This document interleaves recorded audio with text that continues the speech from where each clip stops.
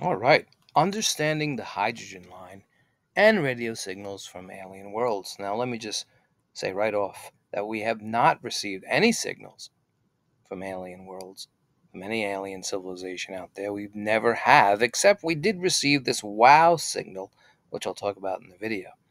There's a lot to go over here, um, so we'll see if we can make this one or two parts. Hopefully, we can make it one part. The thing about you know, where are they? If you know this vast universe, you think we would receive some kind of sign, some kind of signal from out there. And the thing about radio signals, and we're also talking about the electromagnetic spectrum, which I'll uh, explain, they do not remain intact at long distances. So if you think about those shows from the 50s, you know, we sent out I Love Lucy, that TV show. We sent out those radio waves because radio t- TV shows are radio waves. And when they go out there, they spread out as they propagate, as they move through space, they're going to spread out and they're going to be distorted. So let's say that we sent out the I Love Lucy show or whatever 50s show out there, You Bet Your Life or something. And it reached, let's say, Proxima Centauri, which is four light years away, our closest star. By the time it reached Alpha Centauri, let's say there was an alien civilization on Alpha Centauri, and they had the, the equipment to detect this the signal will be so weak and so distorted. So if we sent, let's say, a, a music a song, we sent a song out to Alpha Centauri, they just they just would not hear what the song, what the music was. It would be so distorted. So that's what happens with radio signals anyway. Um, however, even though they will not be able to hear what the message is, probably not understand it because of our language, but they would still know that it's not natural. So let's get into that. First, let's understand the hydrogen line and radio signals. So, way back in 1977, we did receive this signal. It's called the wow signal. And I'm going to explain that. And it lasted for 72 seconds. So it didn't repeat itself. There's, but for those 72 seconds, it seemed like it was very concentrated very what they call a narrow band. And that's why they call it the wow signal. But we'll get to that. First, we need to understand the hydrogen line. So, hydrogen is the most abundant element in the universe. By far, 74% of the universe, of matter, that is, we're talking about matter, not dark matter, not dark energy, but of matter, 74% of the universe is hydrogen. And 24% is helium. So, the rest, those 2%, is everything else. So, there's considerable amount of hydrogen, and that's important when we're talking about this video. Well, hydrogen, what will do is it will emit a radio frequency. Now, let me write this down for you. It'll emit a, and I'll explain how it does that, but it, it will emit a radio frequency, and it's really a microwave frequency, but if it's going to be 1420, roughly within that range, megahertz. And it happens all the time. So this frequency is being shot out all over space. And when we pick this up, you know, if you had a microwave receiver, not a microwave oven, but if you had a microwave receiver, you would pick up, if you're picking up 1420 megahertz, you're picking up hydrogen. So let's explain the electromagnetic spectrum anyway, so we can get a little idea of what's happening here. Let's got a clean page. By the way, here's a microwave receiver. So if you had one of these fancy things and you were picking up 1420 megahertz around that area, you're picking up hydrogen, which I'll explain. Now, if you're if you're picking up something within that range, 1420 point something, and it's repeated and it's concentrated, then you're picking up something that's not natural, unnatural, and it's a deliberate signal. So that's why the hydrogen line is important. So let's write the electromagnetic spectrum. And the electromagnetic spectrum is light. It's not just visible light. You know, we only see visible light. The electromagnetic spectrum is radio. Radio waves are light. We, we don't see radio waves, right? And then there's micro, and there's infrared, and then there's visible light. I'll just put VL for visible light. There's UV, ultraviolet light, there's X rays. All this is light. These are photons of light. there's gamma. And they go from the longest, change the color here. Maybe we'll use blue. Go from the longest wavelengths with the lowest energy to the shortest wavelengths with the highest energy. So gamma, X-ray, UV, these are very dangerous photons. They can damage your DNA. They're ionizing. But in the radio spectrum, radio, we have many frequencies. We have very low frequency. We have low frequency. We have medium frequency. We have high frequency. You know, we have VHF. You probably have heard VHF, very high frequency. This is FM, FM radio. This is TV. So we've been sending out VHF signals, and you know we'll have AM radio over here and so forth. We've been sending these signals into space since radio, right? So at least 100 years. In the 1920s, they were sending radio broadcasts.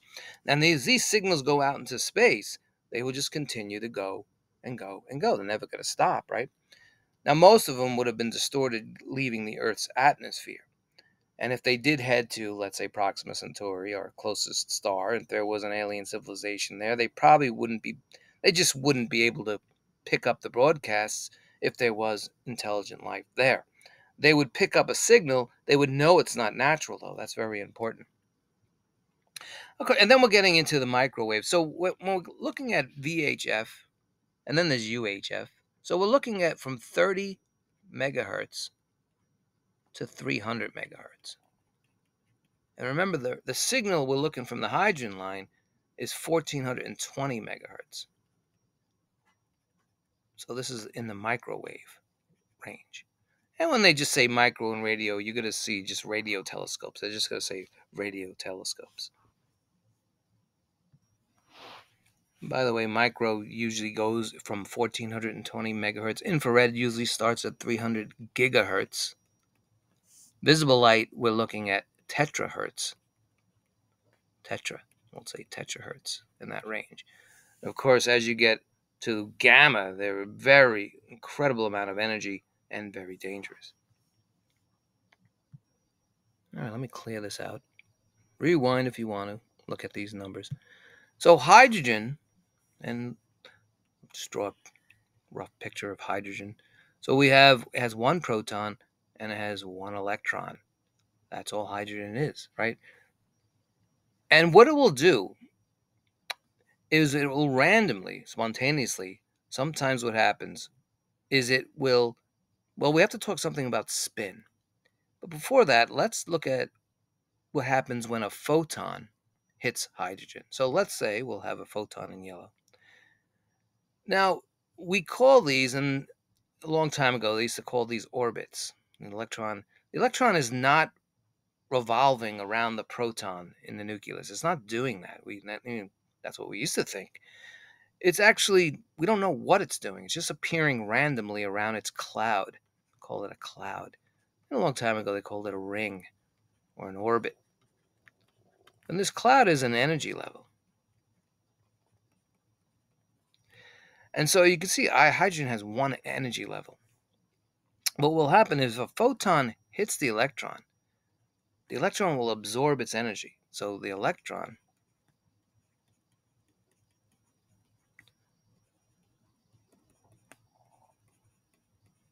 is going to absorb the photon's energy. And it depends on what photon it is. It could be a gamma photon. If it's a gamma photon, electrons is going to just just knock right its, itself right out of the atom because a gamma photon has an enormous amount of energy. But if it's a visible light photon, let's say whatever, it's going to hit this electron. The electron's going to be now full of energy, and it's going to go into a higher energy state. It's just going to move into it. Let's get red there. Create another little cloud here, little ring. So it's going to end up in a higher energy state. Just think about this when you think about kids in school. If you give kids after lunch, they're full of energy from all that food, and they go to recess and they're running all over the place. And eventually, though, they will have to come back down because this state, when the electron moves into this new state, it's unstable. And so it eventually will lose its energy and go back down to its original state, which is called the ground state. And then from there, it will create a new photon because this uh, the original photon will cease to exist, and so a new photon will be created, and that new photon will send out frequencies, and it will send out light, depending on what it was. If it was a red photon from the red wavelength, red is the longest wavelength of visible light. If a red photon hit the electron, eventually red will be emitted outside, and you'll see the color red. If it was a blue photon, you'll see the color blue, and so forth. Let's get a picture of that. All right, so let's just say that we have a photon. We'll, we'll let's get a different color in here. We'll use we'll use purple. Let's say there's a proton. There's a proton over here, and then there's an electron. There's the electron, and let's say you know we have a photon coming in and it hits the electron. So the electron goes up to another energy level. The electron, and then it will come back down. So now it's over here. And get our pen working. And of course, it will come back down to the ground state and it will emit a new photon because the other photon ceases to exist. And let's say that this was a photon was the a red photon from the red red not the wed but the red wavelength. So it'll emit the color red and so forth. Now, hydrogen will also do something else. That's what we're going to talk about with this hydrogen line. All right, so here's our hydrogen. And what will happen, and I'm going to write this another fancy word up here. We'll use yellow. It's called the hyper fine transition. And very simply, what will happen is the electron and the proton have this property called spin. And don't try to focus spin in our world, in our classical physics world. They're not really spinning. It's just a quantum term that they use. So what's happening is the electron in the hydrogen will spontaneously flip its spin so its value is opposite the proton's spin. It's called the spin flip transition. Spin flip transition. So again, the electron will spontaneously flip its spin so its value is opposite the protons. That's the spin flip transition. And when this happens, a photon is going to be created and it will release a freak the frequency it's being released at guess what is around 1420 megahertz so knowing that hydrogen is the most abundant element in the universe we would assume that any advanced civilization trying to communicate with us, and this, is what we're trying to do also, we would try to get within that range of 1420 because they would know what we're trying to do. We know that hydrogen is the most abundant element in the universe. So if we use the frequency of 1420 within that range and we repeated that signal, we concentrated that signal in a narrow band, then an alien civilization will say that's not natural. That could be a way we can communicate with them. So this brings us to the wow, the wow signal. Let's get to the wow signal. Put a wow here. By the way, this is protium.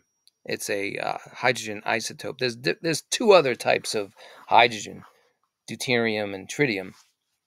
But the one we're we're concentrating with the, this hyperfine transition is protium. In case you're wondering. So the wow signal was happened on August 15th, 1977. Long time ago, right? It was in Ohio State University at their the Big Ear telescope. And what happens is they found a frequency for 72 seconds of 1420.456 megahertz above the hydrogen line. And it was narrow band, it was concentrated. The only thing is, it only lasted 72 seconds and it never happened again. All these years, we've never picked up anything like it. That's why it was called a wow signal. Let me show you what it had looked like. So when they picked up this transition, they said, wow. Right? So it doesn't stand for anything, but just wow. So you're running with the 6EQ J5 means? Well, that's the concentration it was picking up. I'll show you another picture of that. So this is what it was picking up. So this anything above 9, they start using letters. So first they had a they had a 6, and then they went above the level, the intensity. You can see here on the y-axis the intensity. It went to around 14, which is an E and then above 25 is a Q and so forth, and then it went right down to five. So this all that meant it was the intensity of the signal, the, of the wow signal. And again, it, uh, it lasted 72 seconds and it was never repeated. If this thing was repeated, it had a, and you can see that it had a concentrated signal. And we know, you know, from this signal alone, it, it seems like it was on, it was unnatural, but it wasn't repeated. But if it was repeated over and over again, we would consider this uh, a message. But again, we never received any other message. We've never seen this repeat ever since 1977. All right, and that's our that's our video today.